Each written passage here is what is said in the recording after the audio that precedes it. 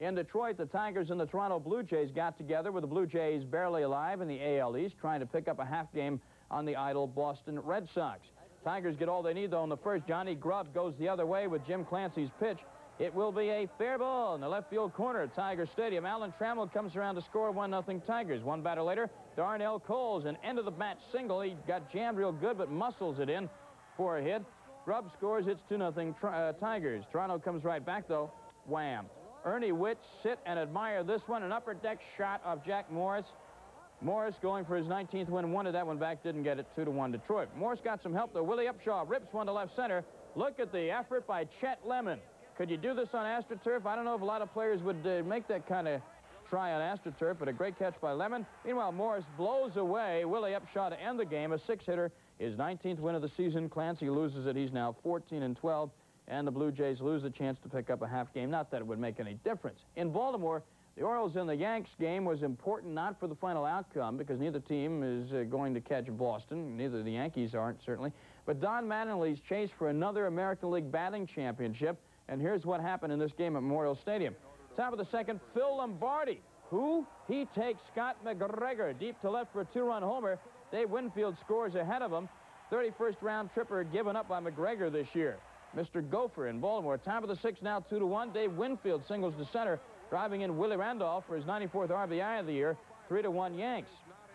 Now, in the top of the eighth, Willie Randolph.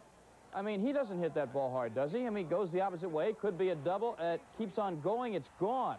Randolph is fourth homer of the year, 4 to 1 Yanks. And in the fourth, well, here's Mr. Mattingly trying for the batting title against McGregor. Almost gets a homer here. Don will settle for an off-the-wall double, if you will. His 21-game hitting streak is now intact. He's hitting 351, five points ahead of Wade Boggs of the Red Sox.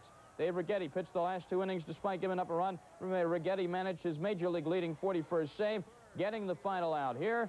And the Yankees win it by a score of 4 to 2 to stay mathematically alive in the American League East race. And a look at the batting race in the American League East has Mattingly at 351 and Wade Boggs at 346. Why is Boggs frowning? I guess he doesn't like trailing. In Oakland, the A's and the White Sox opening a series at the Alameda County Coliseum on Monday night. Let's go to highlights of this game now. Sox have taken a 1-0 lead here in the second and are looking for more with the runner third. Daryl Boston lines the ball to right. Dusty Baker, yes, he can still do it. Makes the catch. The A's escape further damage, trailing 1-0. Bottom of the inning, Floyd Bannister against Dave Kingman. Kong with a chopper. It's fielded by Hulett. But watch Hulett's throw. Pulls Russ Morman off the bag. He thinks he tug him. No, the ump says safe. After an infield hit by Baker, Mark McGwire lines the ball to center. Daryl Boston tries to do what Baker didn't know. And look at him. Does he run after the ball? Daryl, Hey, Daryl, the guys are rounding third. They're going to score. Hey, he, uh, two to one Oakland. McGuire got a got the third and scored on a sac fly. Now, bottom of the third, Jose Canseco with a patented moonshot. Watch this rocket. I mean, he doesn't hit line drives just over the fence.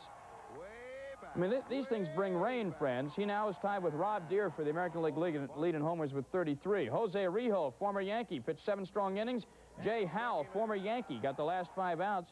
And wonder if George Steinbrenner's advisors are listening. The final score, Chicago uh, losing to Oakland by a score of 5 to 3.